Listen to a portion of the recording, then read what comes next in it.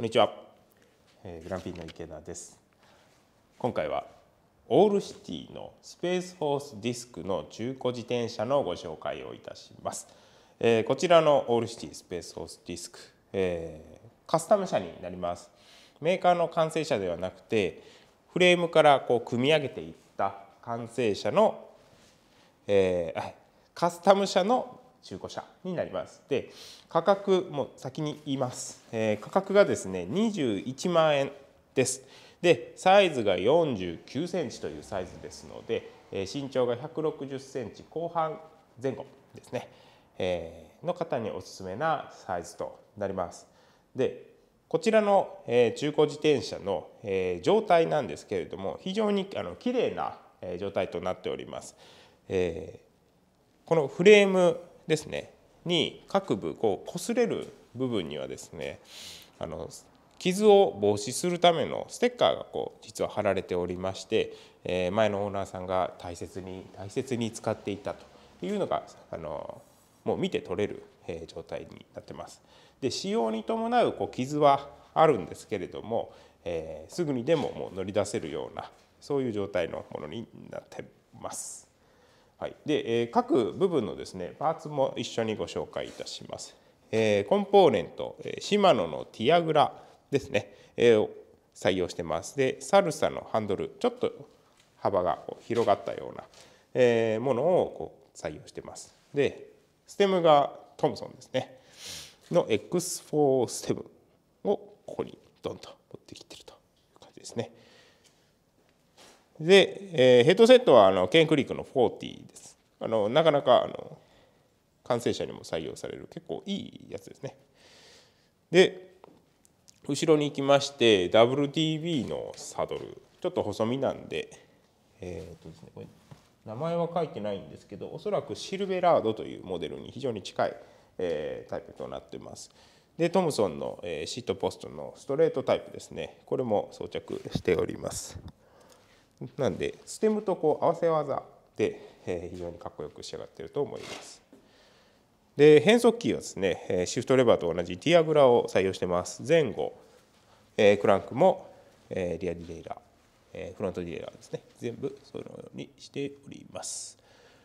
で、え、チェーンリングはですね50の34のコンパクトクランクと言われるタイプです。ですので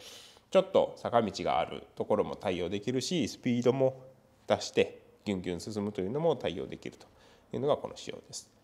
で分かりにくいんですけれども実はこの使われているボトムブラケット BB ですねは、え、フィルウッドのポリッシュカラ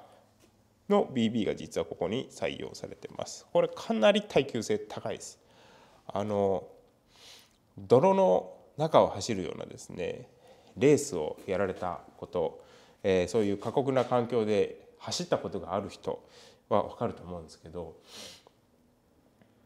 泥の中を走るとですね本当にこの中に水が溜まったり砂が溜まったりしてゴリゴリゴリゴリしてくるんですけども実はこのフィルウッド僕も使ってたんですけど全然それがなくてですね、え、非常に驚いたことを、え、覚えております。で、え、ブレーキはですね反対側になるんですけども TRP のブレーキを前後に使ってます。TRP はあのブラックカラーとシルバーカラーがこう一緒になった非常にかっこいいブレーキディスクブレーキになります。でハブは前後ともシマノの XT です。XT を採用しております。でリムが H プラスソンのヒドラですね。ディスクブレーキ専用のマットブラックな仕上がりとなっております。はい、という感じですね。でタイヤはグラベルキング SK なんですけれどもまあまあ、えー、使われてるので、うん、そうですね交換新品を100%とすると大体50%ぐらいはもう使ってるんじゃないかなと思います。ですので一度、えー、乗り始めた時にこれで乗っていただいてでちょっとしたらこう気分転換にですねタイヤを変えてもいいかなと思います。で、えバーテープもですねこの横がちょっと白く汚れてはいるんですけれども、えー、まあまあ破れることもなくそのまま使えるというような状態です。はい、えー、ということで今回はオールシティのですねスペースフォースディスクのご紹介でした。で中古車です中古車ですので1台限りとなります、えー、YouTube で、今回ですねご紹介えしてるんですけれども先に、えお問い合わせがあった方はその人先着順で、えご対応させていただきますのでご了承ください。で、え基本的に現状でお渡しとなります。でここカスタムしたいここをこういじりたいというのがあれば別途ご相談ください。で、えインスタグラムですねグランピーバイクのインスタグラムに、えハイライトというページがあるんですけれども、えー、そこのページで今の中古車の、え、在庫状況ですねを一覧出してますのでもし気になるという方はそちらもチェックしてみてください。で、えーと、お問い合わせはですね、えー、メール、えー、ショップアットグランピー .jp もしくは、えー、グランピーのホームページの、えー、お問い合わせというページからお問い合わせいただければと思います。はい、ということで今回はオールシティのスペースホスディスクのご紹介でした。